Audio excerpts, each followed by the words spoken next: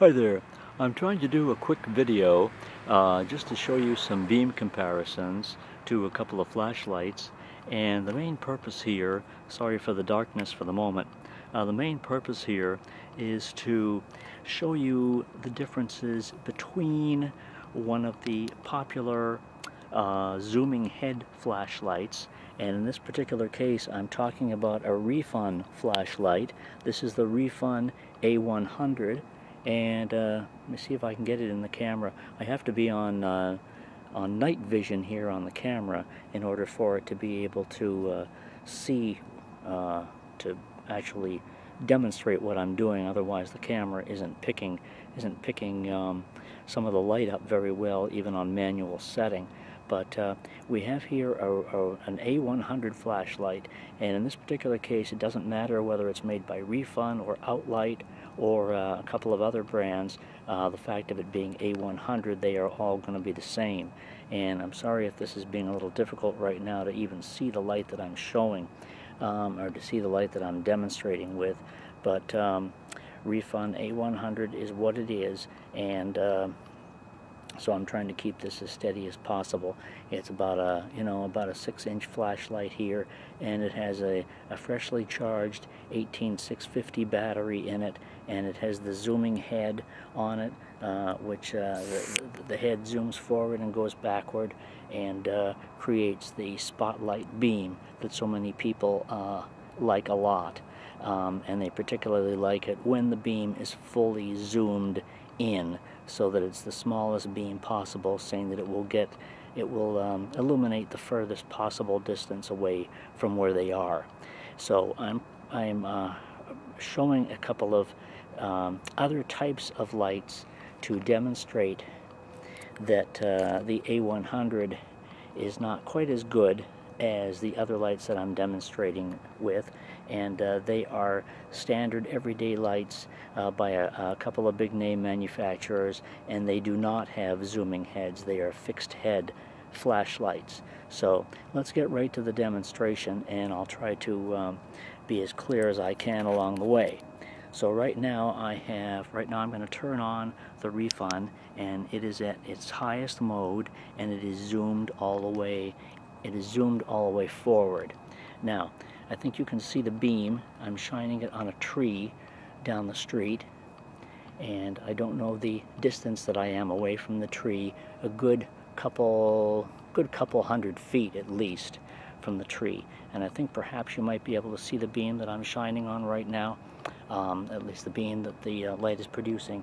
And again, this is on its highest mode in high mode, and again the beam is is, um, is zoomed all the way out, or zoomed all the way in, I guess you could say.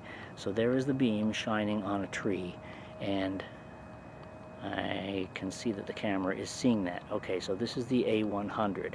All right, let me turn this one off now. Or actually, I want to quickly show you what I'm going to compare it with here, if I can. Um, I have in my hand a Nitecore MH20 flashlight, and uh, this isn't working out all too well. Oh, okay, there we go. This is a Nitecore MH20 flashlight. It is half the size of the uh, of the A100 and it has an XPL LED and it goes to about a thousand lumens okay about a thousand lumens with an XPL LED alright so I'm going to shine that one now on the same tree that we saw the Refun on a second ago Okay, there is the beam on the same tree. And this is a Nitecore MH20. And uh, it illuminates far more of the tree than the uh, Refun did. And there is no zoom head on this flashlight. It is a fixed beam. So there it is on the tree down the street.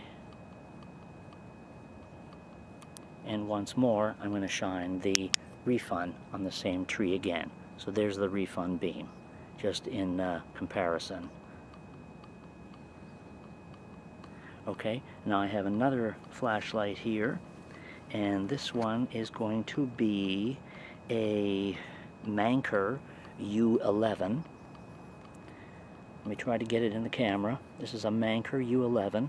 It's about a 4 inch flashlight, about the same size as the Nitecore I just had a moment ago and this too has a power of about a thousand lumens. The um, Refun, the A100 I should mention, claims that it's 900 lumens, but it is in fact a lot less than 900 lumens. This one, the Manker U11, is about a thousand lumens and it uses an XML2 LED. Alright, so let me turn that one on and again on its highest beam I will shine it at the tree. Okay, wait a second while I get it up to par. I thought it was already on high, or I thought it was already on the highest mode. Okay, two, two more seconds. There we go.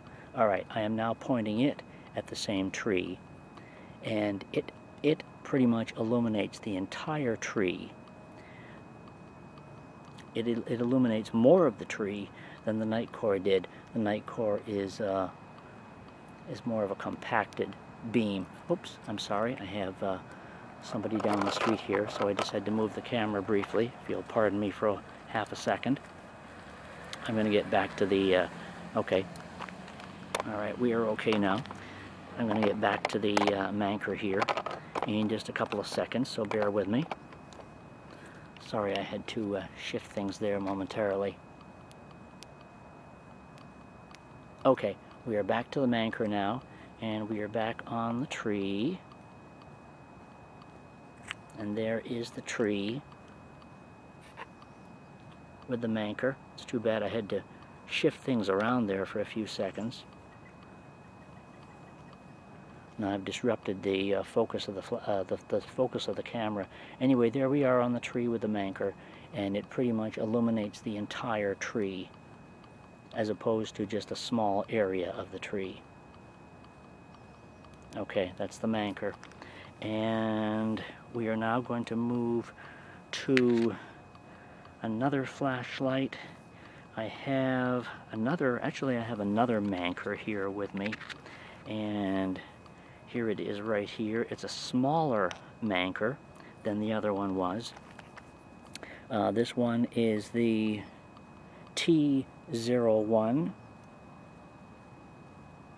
It's light in color. There we go. It's the T01 and this is about 900 lumens and this uses an XPL LED which is one of the newest LEDs they have available and you can see it's very small. It's only about uh, it's only between three and four inches long.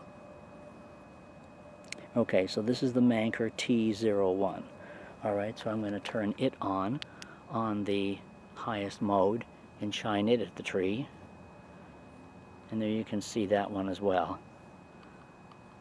Manker T01 with an XPL LED and this uses a uh, 14500 rechargeable battery which is the exact same size as an alkaline double A and that's what this flashlight uses. It can use a double A as well but it won't be this bright. So anyway there it is on the tree. That's the Manker T01 and once again if I do a last minute comparison with the Refun again hold on. Okay, remember there's the Refun beam and its uh, full zoomed mode and there's the Manker.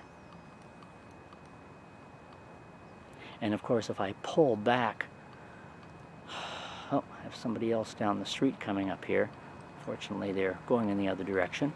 And if I pull back the uh, beam on the um, on the Refun to where it's non-zoomed, it won't do a darn thing. It won't light up anything, at least not. It'll only light up the immediate area ahead of you. It won't light up distance at all. So it doesn't even do any good to show that on the camera. The only thing it's going to show is when it's fully zoomed out or zoomed in, you know, um, as we've already shown. So anyway, those are the comparisons between the Refun A100 and the other flashlights which use much newer LEDs such as an XPL and so forth and which are their true outputs of close to 900 lumens and 1000 as opposed to the Refun which says it's 900 lumens but I believe in effect it's only about 300 lumens. So there are your comparisons with these different flashlights. Hope you've enjoyed this video. Lightsandgear.com is my website where you can take a look at flashlights, batteries, and chargers and so forth. And uh, I got to use two hands or at least one hand to turn off the camera. So I'm going to say thank you very much for watching. Hope you've enjoyed the video and the comparison. We will see you next time. Good night.